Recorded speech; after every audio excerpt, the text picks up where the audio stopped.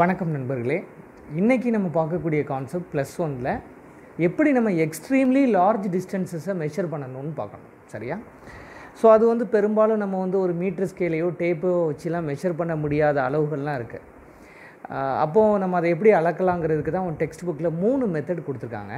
அதில் மூணுமே exam point of வியூவில் ரெகுலராக வர்றது தான். ஸோ அதை நம்ம டிஸ்கஸ் பண்ணலாம். ஸோ அதில் ஃபஸ்ட்டு மெத்தட் பார்த்திங்கன்னா ட்ரையாங்குலேஷன் மெத்தட்னு சொல்லுவாங்க. இது ஒன்றும் இல்லை உங்களுடைய சிம்பிள் மேத்தமெட்டிக்கல் டெக்னிக்ஸ் தான். சரியா? அப்போ அதுக்கு நீங்கள் என்ன பண்ணணும் அப்படின்னா முதல்ல ஒரு படம் வரைங்க. யூ கன்சிடர் ரைட்டா ஒரு நல்ல ஹைட்டான ஒரு பாடி இப்போ நம்மளுடைய டார்கெட் இதனுடைய ஹைட்டை கண்டுபிடிக்கிறது. இப்போ இந்த ஆப்ஜெக்ட்லேருந்து நம்ம எக்ஸ் டிஸ்டன்ஸ் தள்ளி இருக்கோன்னு வச்சுக்காங்க. ரைட் இப்போ இந்த லைனை ரெஃபரன்ஸாக வச்சு அந்த டாப்பஸ்ட் பாயிண்ட்டை நீங்கள் பார்க்குறீங்க அப்போ உங்களுக்கான எலிவேஷன் வந்து தீட்டாங்கிற அந்த ஆங்கிள் கிடைக்குது. அப்போ உங்களுக்கு மேக்ஸில் சொல்லி தந்துருப்போம் நாங்கள் டேஞ்சன்ட் டேன் டீட்டா ரூல் என்ன?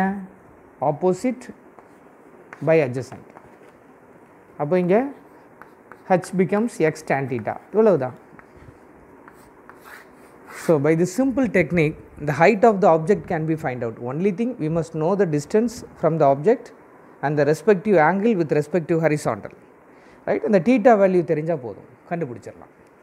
ஸோ இது ரெகுலராக வரக்கூடிய ஒரு டூ மார்க் பார்க்கலாம். அதுக்கு பேர் வந்து என்னென்னா பேரலக்ஸ் மெத்தட்னு சொல்லுவேன். பேரலக்ஸ் மெத்தட் ஸோ இந்த மெத்தடை யூஸ் பண்ணி நீங்கள் என்ன கண்டுபிடிக்கணும்? நமக்கு ஒரு சாம்பிள் மாதிரி கொடுத்துருக்காங்க. எக்ஸ்ட்ரீம்லி லார்ஜ் டிஸ்டன்ஸுங்கிறதுனால எப்படி கொடுத்துருக்காங்க அப்படின்னா எர்த்துலேருந்து மூணுக்கான டிஸ்டன்ஸை நீங்கள் மெஷர் பண்ணணும். அப்போ you treat them as earth and the smaller round as moon சரி. அப்போ இது எர்த்துனா இது எர்த்தினுடைய டயமீட்டர் அதை வேணால் நான் ஏபின்னு எடுத்துக்கிறேன்.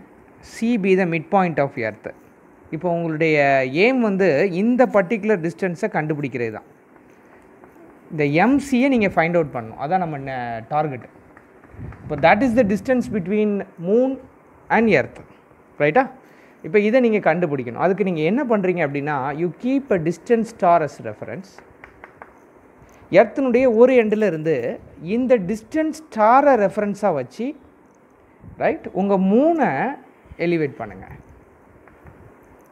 இப்போ இந்த ஸ்டார் அந்த நம்ம பாயிண்ட் ரெஃபரன்ஸ் பாயிண்ட்டை வச்சுக்கிட்டு இந்த மூணோட ஏற்படுத்தக்கூடிய ஆங்கிளை நோட் பண்ணிக்காங்க. தட் இஸ் டீட்டா ஒன் அதே மாதிரி திரும்ப அதனுடைய டயமெட்ரிக்கலி ஆப்போசிட் எண்டுக்கு வாங்க. Keeping distance star as reference once again you elevate the same moon அப்போ இப்போ இங்கே என்னாகும்? அந்த வேர்ட்டிக்கல் லைனை ரெஃபரன்ஸாக வச்சு அது ஒரு ஆங்கிள் மேக் பண்ணும். Let it be theta two இப்போ இங்கே கீ பாயிண்ட் இவ்வளவு தான் அதாவது இந்த angle டீட்டாங்கிறது that is sum of theta one plus theta two that's all இந்த ஒரு கீ பாயிண்ட் தெரிஞ்சால் போதும். அப்புறம் நம்ம போன தடவை மாதிரியே இதை ஒரு ட்ரையாங்கிளாக ட்ரீட் பண்ணி இங்கே நமக்கு எந்த ஆங்கிள் சூட் ஆகுமோ அதை எடுத்துக்கலாம். ஸோ இங்கே ப்ராபப்ளி சைன் ஆங்கிள் எடுத்துக்காங்க. அப்போ உங்களுக்கு ஆப்போசிட் வரும். That is A B by ஏஎம்னு வரும். ஸோ இந்த கேஸில் உங்களுக்கு வந்து A M is almost equal to M C இல்லையா? அப்போ இந்த ஏஎம்மை நம்ம எப்படி மாற்றிக்கலாம் இன்ஸ்டெட் ஆஃப் ஏஎம் நம்ம எம்சின்னு போட்டுடலாம். ஸ்மாலர் ஆங்கிள்ஸை பொறுத்தவரையில் இந்த டீட்டாவை நம்ம சைன் டீட்டாவை டீட்டான்னு எழுதலாம். தவறு இல்லை அப்போ இப்போ எம்சி வேணும்னா ஏபி பை டீட்டா கண்டுபிடிச்சிடலாம். தட்ஸ் ஆல் ஃபைன் டிஸ்டன்ஸ் கண்டுபிடிச்சிட்டோம். இது ஒரு த்ரீ மார்க்கில் வரும். ரெகுலராக வரக்கூடியது தான் கொஸ்டின் என்ன? How to determine the distance of earth and moon right இந்த ஐடியாவை பேஸ் பண்ணி ஒரு எக்ஸாம்பிள் சம் கொடுத்துருக்காங்க. அந்த எக்ஸாம்பிள் சம்மை நம்ம போடணும். அது வந்து ஒன் பாயிண்ட் டூங்கிற எக்ஸாம்பிள் சம் சம்மெல்லாம் ஒன்றும் உங்களுக்கு பெருசு கிடையாதுங்க. அப்படியே நீங்கள் படிக்கிற லாஜிக்கில் அப்ளை பண்ண வேண்டிதான். ரைட் இப்போ இங்கே பாருங்கள் இந்த சம்மில் என்ன கொடுத்துருக்காங்க அப்படின்னா நம்ம கஷ்டப்பாடு பட்டு இங்கே கண்டுபிடிக்கிறோம் பாருங்கள் இந்த ஆங்கிளை அவங்களே கொடுத்துட்டாங்க. எப்படி கொடுத்துருக்காங்க? ஒன் டிகிரி ஃபிஃப்டி ஃபைவ் மினிட்ஸ்னு கொடுத்துட்டாங்க. மோர் ஓவர் எர்த்தினுடைய இந்த டயமீட்டர் கொடுத்துட்டாங்க. நமக்கு தெரியும் எர்த்தினுடைய ரேடியஸ் இதுக்கப்புறம் பின்னாடி கிராவிடேஷனில் வரும்போது நீங்கள் கற்றுப்பீங்க அது வந்து six thousand four hundred kilometre அப்போ எப்படி எழுதலாம்? Sixty four into ten power five metre இதுதான் ரேடியஸ் ரைட்டா ஆக்சுவலாக இப்போ இதை நம்ம என்ன சொல்லணும்? எர்த்தினுடைய டயமீட்டர்னு சொல்லணும். தட் இஸ் டூ ஆர் அப்போ இங்கே கொடுத்துருக்கிற இதுலேருந்து பார்த்தீங்கன்னா இங்கே two into sixty four into ten power five இதை தான் பீன்னு சொல்கிறோம் நம்ம பேசிஸ் இந்த பேரலக்ஸில் இந்த ஐடியாவை பேசிஸ்னு சொல்லுவோம். ரெண்டு டிஸ்டிங்க்ட் பாயிண்ட்ஸை பேசிஸ் சொல்லுவோம். அதை பீன் எடுத்துக்காங்க. அப்போ இப்போ வாங்க ஃபார்முலா இவ்வளவு தான் X equal to B by theta இந்த பிங்கிறது basis that is nothing but your diameter two into sixty four into ten power five right இப்போ கொடுத்துருக்கிற டீட்டா இதில் மட்டும் ஒரு சின்னதாக நீங்கள் கவனிக்கணும். இதுதான் சம்ஸில் இருக்கக்கூடிய நுணுக்கங்கள். கொடுத்துருக்கிற டேட்டாவை அப்படியே நம்ம பெரும்பாலும் எடுத்துகிட்டு போக முடியாது. நம்ம கன்வெர்ட் பண்ணி செய்கிற மாதிரி வரும். இப்போ இந்த கேஸில் உங்களுக்கு வந்து ஒன் டிகிரி ஃபிஃப்டி ஃபைவ் மினிட்ஸ்னு கொடுத்துருக்காங்க. அப்போ முதல்ல இந்த சம்மை நீங்கள் மினிட்ஸுக்கு கன்வெர்ட் பண்ணிக்காங்க. மொத்தமாக இது எவ்வளோ மினிட்ஸ்னு பாருங்கள் ஒன் ஒன் ஃபைவ் மினிட்ஸ் வரும். ஏன்னா one degree is equal to sixty minutes இல்லையா?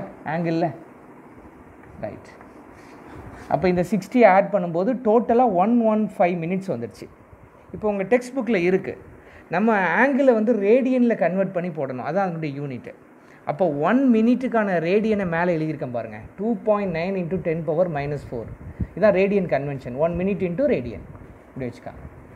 அப்போ இப்போ என்ன பண்ணுறேன் இந்த ஒன் ஒன் ஃபைவ் மினிட்டை இந்த two point nine into ten power minus ஃபோரோட மல்டிப்ளை பண்ணுறேன் அப்போ மோஸ்ட் ப்ராபப்ளி அந்த angle three point three into ten power minus டூன்னு வருது.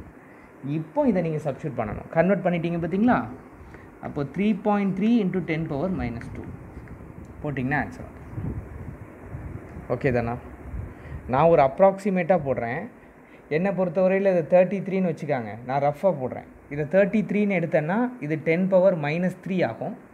இந்த மைனஸ் த்ரீ மேலே போகும்போது ப்ளஸ் த்ரீனா டென் பவர் எயிட்டு நானாக சால்வ் பண்ணுறேன் ரைட் இப்போ இதில் பாருங்கள் சும்மா ஒரு குருட்டு கணக்கு தான். இது thirty three two time sixty சிக்ஸ்னு வரப்போகுது அப்ராக்சிமேட்டாக அப்போ ஆன்சர் ஃபோர் கிட்ட வரும். ஃபோரை நெருங்கணும். ரைட்டா இப்போ இந்த வேல்யூவை பொறுத்தவரையில் நம்ம இதை கொஞ்சம் அதிகமாக எடுத்துருக்கோம். அப்போ மேலே உள்ள வேல்யூ அதிகமாகுது அப்படின்னா இந்த நம்பர் அதிகமாக இருந்திருக்கும். இதை நீங்கள் வச்சுப்போங்க இப்போ உங்கள் புக்கில் போய் பாருங்கள் ஃபோர் பாயிண்ட் இல்லை த்ரீ பாயிண்ட் சம்திங் வரும்னு நினைக்கிறேன் எக்ஸாக்டாக ஒரே நிமிஷம்.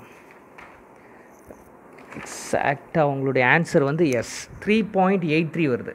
அப்போ நான் அப்ராக்சிமேட்டாக போட்டேன். எக்ஸாக்டாக நீங்கள் அதில் ஒர்க் அவுட் பண்ணிங்கன்னா த்ரீ பாயிண்ட் எயிட் த்ரீ வரும். இவ்வளவு தான் முடிஞ்சிச்சு.